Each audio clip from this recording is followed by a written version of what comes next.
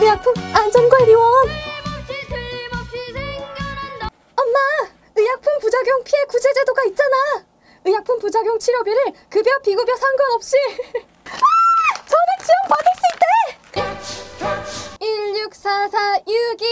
16446223 의약품 부작용 꼭 피해 구제 받으세요.